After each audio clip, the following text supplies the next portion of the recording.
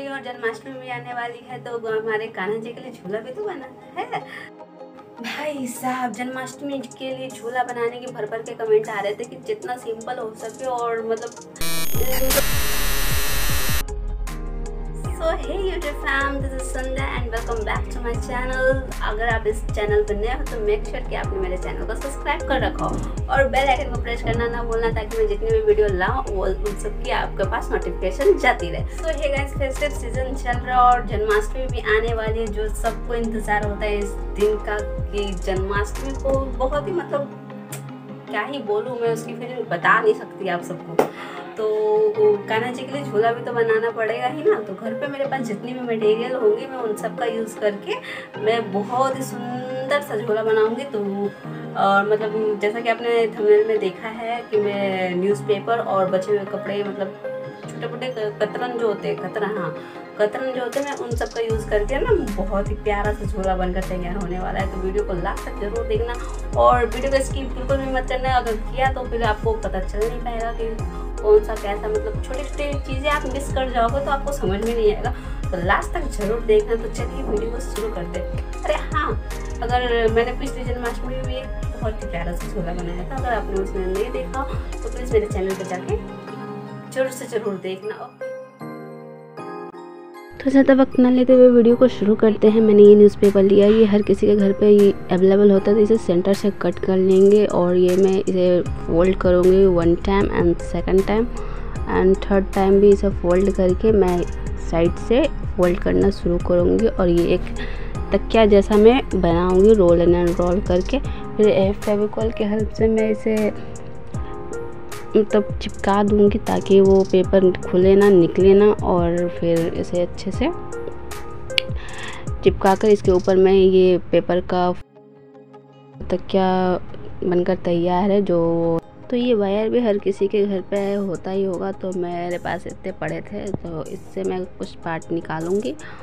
और लगभग ये होगा ट्वेंटी से ट्वेंटी फाइव सेंटीमीटर तक। और फिर मैं इसे रेक्टेंगुलर शेप देकर किनारे से फोल्ड करके एक रेक्टेंगुलर अच्छे सा शेप दे दूँगी और फिर पेपर को लूँगी और इसे फेविकॉल लगा कर उसके एंड में मैं रोल एंड रोल करके इसे पूरे अच्छे में एक मोटा सा लेयर तैयार करना है। एक में नहीं हुआ तो फिर मैंने एक और पेपर लिया, क्योंकि मुझे थोड़ा और मोटा करना था ताकि ये स्टैंड अच्छे से बन जाए, वो गिरे ना। तो मैंने दोनों साइड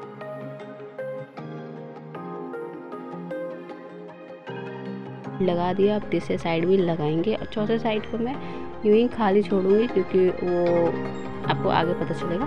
तो मैंने ये, अब ये कपड़ा लिया है, इसे मैं अच्छे से स्टिच कर दूँगी।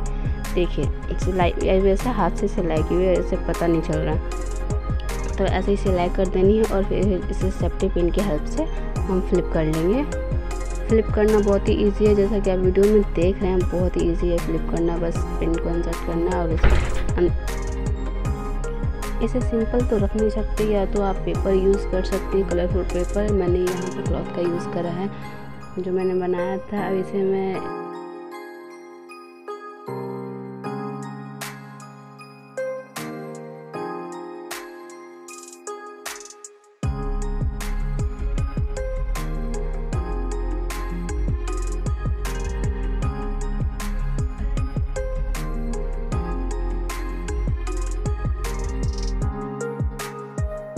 इंसर्ट करूँगी और पूरे में मैं ये कपड़ा डालूँगी तो ये इसका लुक कुछ अलग ही आएगा।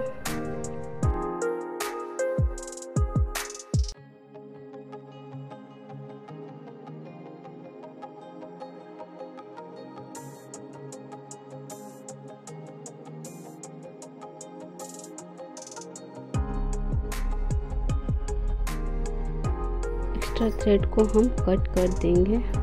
वो तो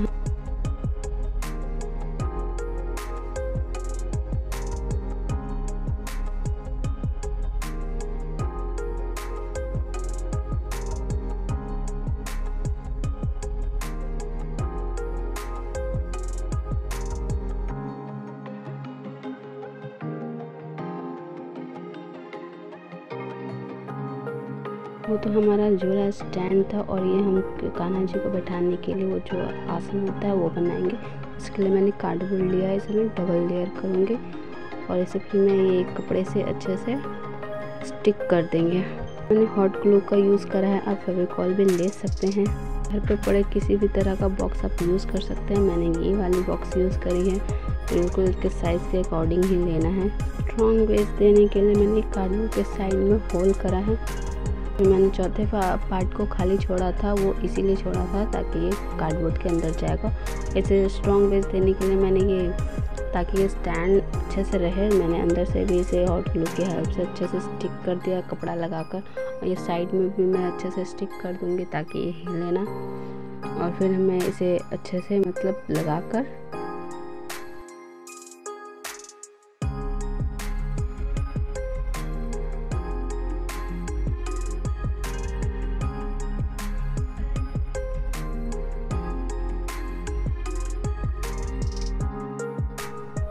तभी कपड़ा लेना है जो मतलब देखने में थोड़ा चटक मटक लगे। तो मेरे पास ब्लू कलर का कपड़ा था तो काफ़ी सिंपल लग रहा था फिर मैंने सोचा इसमें डोरी लगा दिया जाए तो वो अच्छा अच्छा लुक नहीं दे रहा था।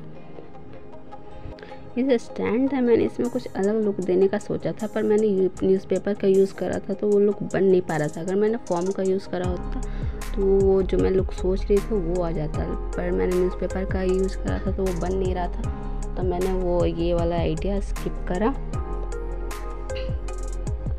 और फिर नीचे से नॉट लगा।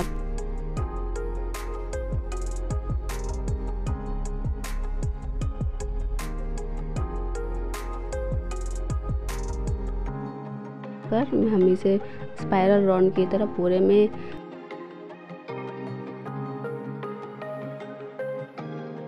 इस डोरी को हम लगा देंगे। और एक्स्ट्रा डोरी को हम कट कर लेंगे। तो ये ब्लू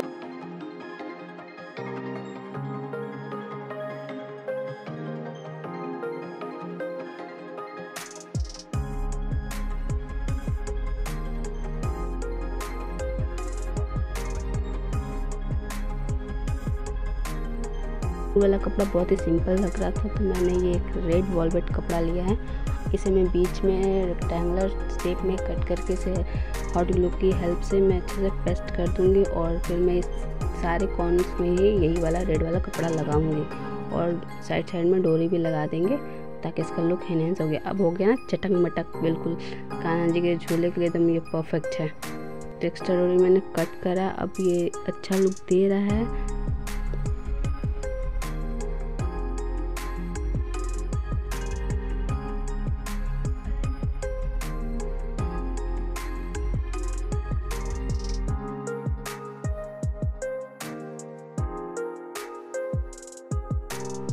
जो आसन बनाई थी मैं, इसमें मेरे पास ये वाली डोरी मतलब लटकन सामान थी तो मैंने ये इसे यूज़ करा है और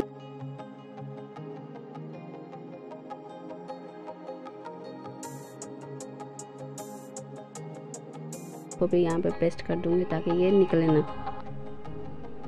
दोनों तकियों को यहाँ पे मैंने पेस्ट कर दिया है ताकि ये निकले ना, अपने जगह पे ये स्टेबल रहे। हमारा बेस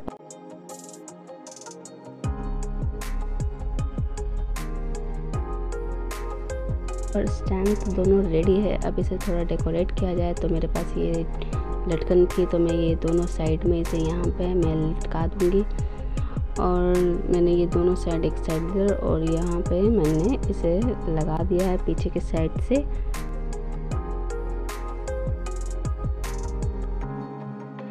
मैं ये डोरी, दो डोरी लूँगी।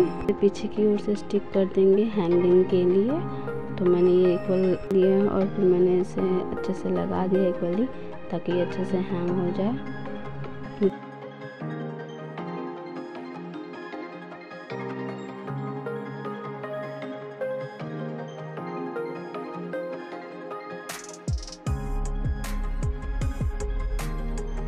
मैंने ये रेड क्लॉथ लिया है मैंने इसे डोरी को यहाँ से बीच से निकाल लेंगे ताकि ये हमें मतलब ये मोती फंसे ना बीच में तो मैंने ये डोरी बीच से यहाँ से निकाल लिया है ताकि अटके ना। और ये बनकर देखिए, मैंने बहुत ही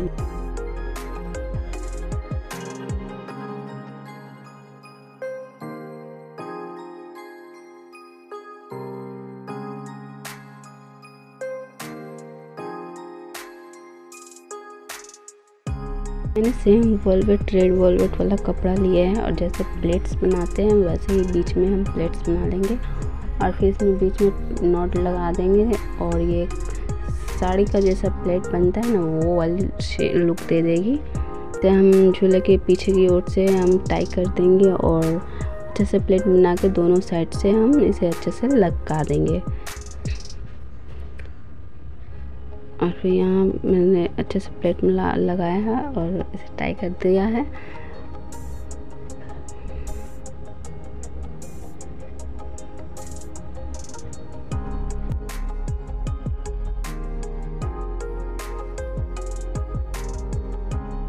वैसे ही मैंने दूसरे साइड भी किया है सेम प्रोसेस से ही।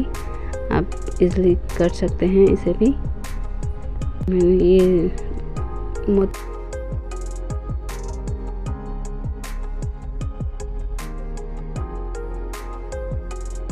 वाले लटकन लिए हैं और इसे भी मैंने सेम प्रोसेस से ही मतलब उसी के अंदर से ही स्टिक कर देंगे। और ये एक ब्यूटीफुल सा मंदिर वाला लुक दे देगा। पीछे जो मैं जब बचिया था, वो मैंने पीछे की ओर इसे स्टिक कर दिया है।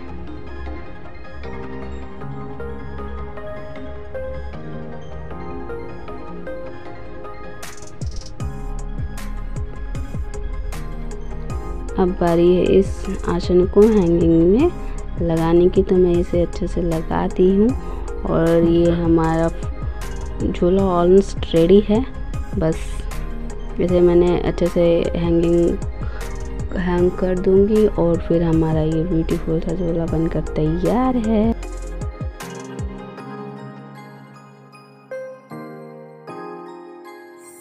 हे गाइस हमारा फाइनली झोला बनकर तैयार है। मुझ मैं तो मैंने सोचा भी नहीं था कि मैंने न्यूज़पेपर से इतनी अच्छी झोला बन सकती है।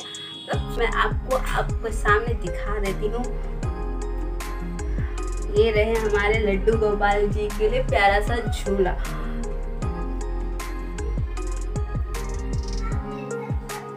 है ना, बहुत प्यारी? कान्हा जी की तरह। अगर न्यूज़पेपर और कार्डबोर्ड से इतनी प्यारी झूला बन सकती है। अगर ये वीडियो आपको पसंद आई हो तो प्लीज़ लाइक करना, अपने दोस्तों के साथ शेयर करना और चैनल पर नए हो तो प्लीज़ सब्सक्राइब करना और आप मेरे इंस्टाग्राम पेज को भी फॉलो कर सकते हैं। तो आज के लिए इतना ही, मिलते हैं नेक्स्ट वीडियो में और इसी तरह इंटरेस्टिंग टॉपिक और मज़ेदार वीडियो के साथ। तो till then take care bye bye